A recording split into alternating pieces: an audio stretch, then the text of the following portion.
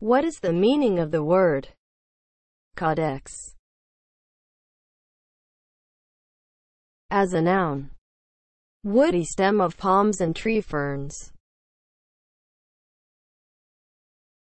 Caudex is spelled C A U D E X.